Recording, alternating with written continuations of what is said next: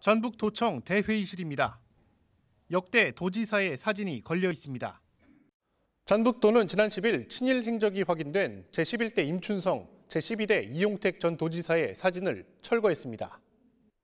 임춘성은 중일 전쟁이 발발하자 일제를 위한 전쟁 업무를 수행했고 이용택은 친일 조직 강사로 참여해 후원금을 냈습니다.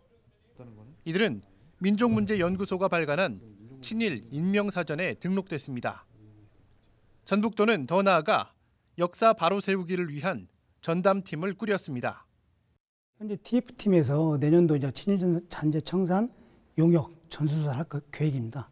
전수조사에 따라서 문제점이 발생이 되면 저희들도 거기에 맞게 적극적으로 친일 잔재 청산 작업을 해 나갈 계획입니다. 최근 전주시도 같은 이유로 초대 전주시장 임병옥과 3대 시장을 지낸 임춘성의 사진을 철거했습니다. 대신 사진이 철거된 자리에 친일 반민족 행위자라는 문구를 넣었습니다. 군부 독재자의 흔적도 역사의 심판대에 올랐습니다. 이달 초 장수군은 전두환 씨가 직접 쓴 것으로 알려진 논계 정자 현판 단하정을 20년 만에 철거했습니다.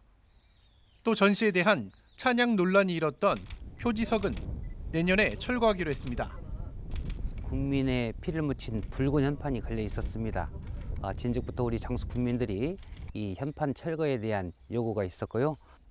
꾸준히 역사 바로 세우기 운동을 벌이고 있는 민족문제연구소는 늦었지만 다행이고 또 당연한 조치라고 설명했습니다.